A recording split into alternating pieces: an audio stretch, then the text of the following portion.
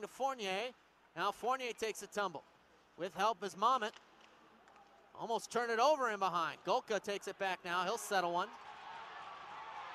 And now Fournier and Mitch McPherson are exchanging punches. Fournier McPherson throwing hands right in front of the Quad City net. They wrestle each other down quickly. Mitch McPherson getting the crowd all excited. On a good day's work. They'll have a seat in the center.